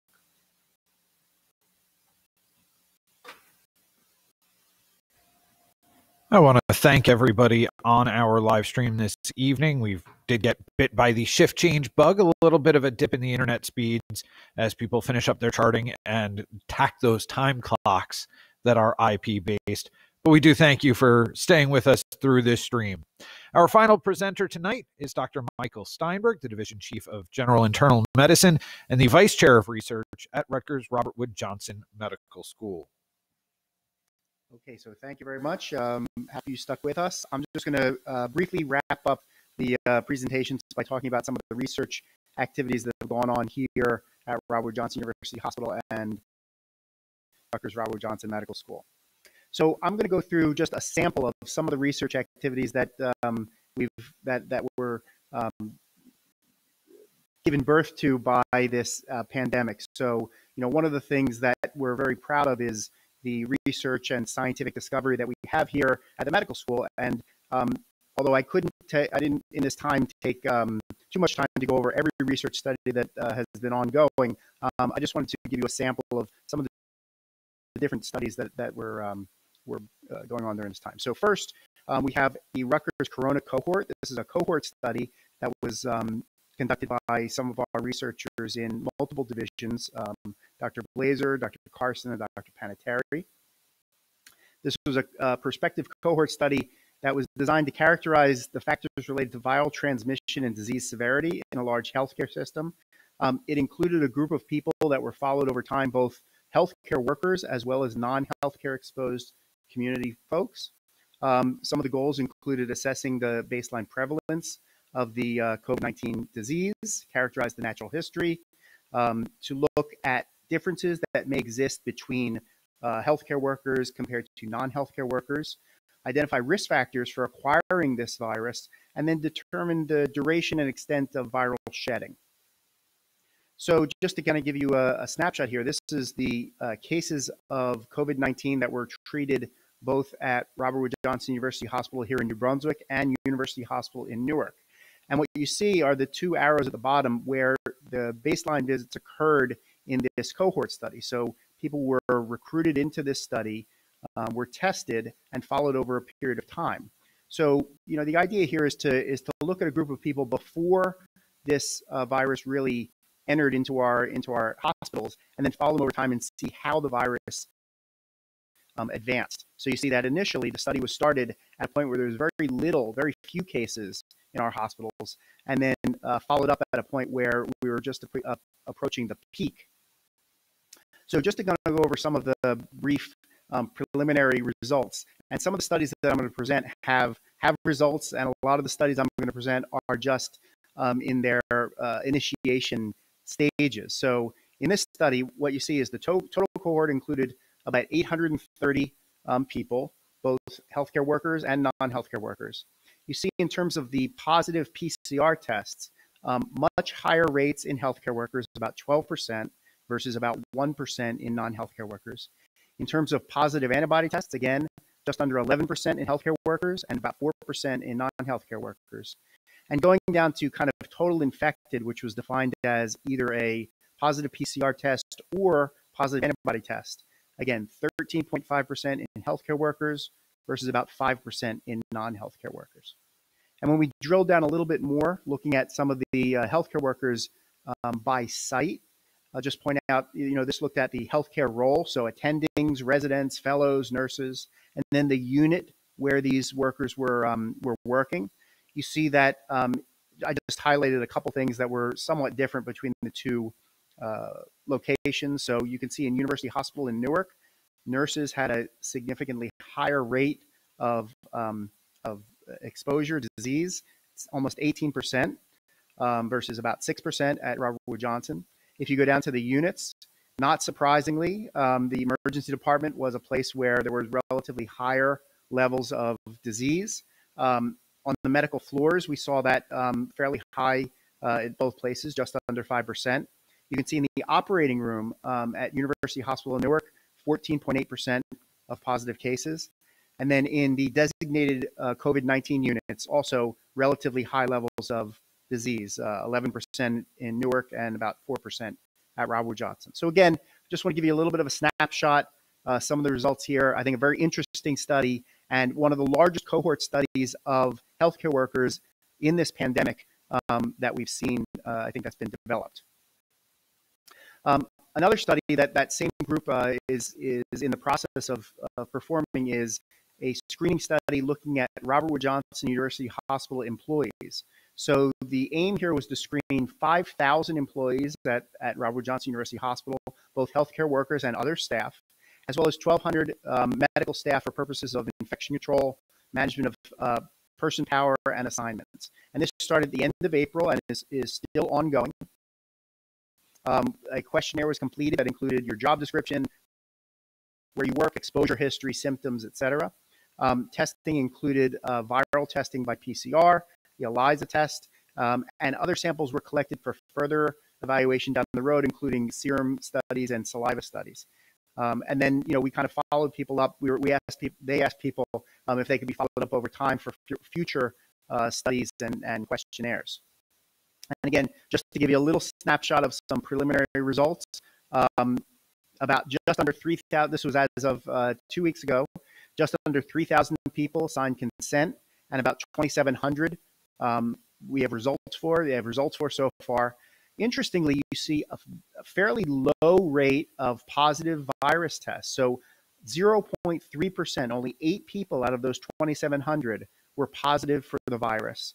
And just, just over 8% were positive for antibodies. So again, maybe a little reassuring in terms of hospital workers and uh, exposure in terms of active virus. Um, this is maybe encouraging. So just a couple studies that are generated by a multidisciplinary group here at the medical school looking at our uh, healthcare workers um, exposure.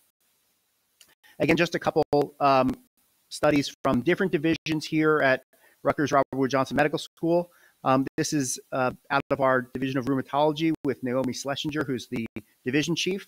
Um, it's a study to look at colchicine in terms of hospitalized patients with COVID 19. So we know that you've heard um, from a couple presentations today that immuno, immunomodulation and Im, anti-inflammatories um, in patients with COVID-19 may be um, useful, but the optimal treatment is yet to be defined. So the idea here is colchicine, um, which has some immunomodulatory and anti-inflammatory effects, um, could be useful here.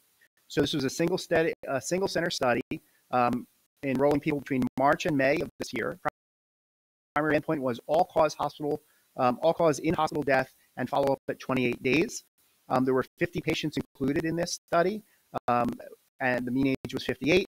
24% were female. And they had some various chronic diseases. The findings included um, people who received colchicine were about twice as likely to be discharged from the hospital, um, and the number of deaths in the group receiving colchicine versus uh, the group who had not received colchicine um, was significantly lower. So again, based on this small pilot study, it's interesting and it, it may uh, generate some hypotheses in terms of the role of colchicine as we continue to treat this disease in terms of uh, discharge from hospital and decreased mortality. Um, our Division of Pulmonary and Critical Care has been involved in many studies. Um, rather than give you uh, results, there were there were too many studies to to describe in detail. But just to give you an idea of the the scope of the type of studies that uh, pulmonary critical care is involved with, um, strategies for diagnosis and biochemical characterization of COVID-19. Doctors uh, Radbel, Jagpal, Panettieri. Um, they're looking at different ways to look at um, uh, to characterize this virus, um, PCR using different media, uh, cellular proteome uh, analyses of certain filters in ventilators. I'm looking at exhale breath for certain organic chemicals. Um, functional CT imaging in patients recovering with ARDS. Uh, the Stop COVID multi-center database study looking at risk factors and treatment effects. Um, there were a number of clinical trials that were based, they were again multi-divisional, but um, a study looking at tocilizumab for the treatment of uh, COVID-19, a hydroxychloroquine uh, clinical trial, uh, treatment of mild to moderate ARDS, um, comparative efficacy, effectiveness strategies, patient satisfaction, as well as patient engagement and quality of life. Um, and then other studies, uh, N-acetylcysteine in hospitalized smokers, and et cetera. So you see a wide variety of patients. This disease is primarily a pulmonary issue. That's where our hospitalized patients um, are most critically ill. So we can see a lot of research activity in the Division of Pulmonary Critical Care. Um, and again, in general, a lot of opportunities to look at different clinical outcomes. So Dr. Parikh in general internal medicine, along with Dr. Glazer and a number of our trainees are involved in designing some uh, retrospective studies looking at data from the hospital um, in terms of um, understanding predictors and severity of illness. An algorithm has been developed in terms of what kind of studies we should be using going forward and how to collect these data. The goal is to look at um, can we predict who might be more likely to have severity, uh, severe illnesses um, when the next wave of COVID 19 comes. So we're going to look at kind of metrics such as intubation, ICU transfer medications, and quality metrics such as mortality, length of stay, and readmission. Um, obviously, you didn't think I would get through a talk without talking about tobacco. So um, we're involved in, um, we're just about starting uh, to look at data here at patients discharged from Robert Wood Johnson University Hospital. There's a lot of contradictory data in terms of the effect of tobacco use and COVID-19. Initially, we obviously thought that smoking is not good for uh, both both the uh, risk of getting COVID-19 as well as the severity. And interestingly, the, the smoking rates among uh, early on in other countries, China and France, the smoking rates among hospitalized patients with COVID-19 were significantly lower than the general population. So there was thinking, could there be a protective effect of either smoking or nicotine? And that generated um, hypotheses about the influence of nicotine on um, ACE2 receptor level, et cetera. Um, so basically, we don't have a lot of good data. And one of the things we want to look at is a mixed method study of COVID 19 patients who were discharged to look at their tobacco, recorded tobacco use um, here in the hospital. And then, of course, during this time, how well and how accurate is that data? We're not so sure. So we're actually going to go back and um, ask people to uh, give a more detailed tobacco use history so we can see if that tobacco use history uh, is linked to how they did clinically here in the hospital in terms of um, outcomes like ICU admission, intubation, etc., uh, need for home oxygenation. So again, a tobacco study coming uh, in the future. And I guess I'm just going to finish up by saying that um, practically every division here in uh, at Rutgers Robert Wood Johnson Medical School in the Department of Medicine was involved in research activity. And I think this really highlights the benefits of the Robert Wood Johnson University Hospital being affiliated and being, um, you know, really the, the academic medical center um, here in, in New Jersey, in central Jersey. Um, you can see that um, research studies done in the ID department by Dr. Bott, along with um, colleagues in pulmonary critical care, a remdesivir trial, which was, again, you've heard remdesivir being one of the promising medications in treatment of COVID 19. Um, you've heard from Dr. Philipp just a little while ago, along with some of her colleagues um, in hematology, doing uh, both convalescent sera trials as well as other uh, pharmaceutical trials. Dr. Rusty in GI, looking at GI manifestations of this disease. Dr. Leibowitz in nephrology, looking at could we um, mitigate some of the cytokine storm by extracorporeal filtration. And then a whole bunch of other studies that are still in the pipeline um, that, again, I've run out of time to talk about. So just want to give you the picture of A lot of active research here at the medical school and at Robert Wood Johnson University Hospital. we're very proud of these um, scientific discoveries.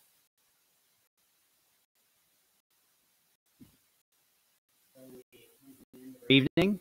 Uh, remarkable presentations, um, the research, the thought, the science that is going on here. Uh, thanks all our presenters uh, for what they've done this evening and for the hard work of the last few months. Uh, we think uh, very positively forward as we go forward and continue to learn, working together. We hope you've all enjoyed this evening. Once again, you this will be replayed again through our website. You'll also be able to connect to you know, our, our uh, newsletter in order to get CME, and don't hesitate to reach out um, as as we go forward. So uh, treat each other nice, learn from each other, work the problem, and we are RWJUH strong.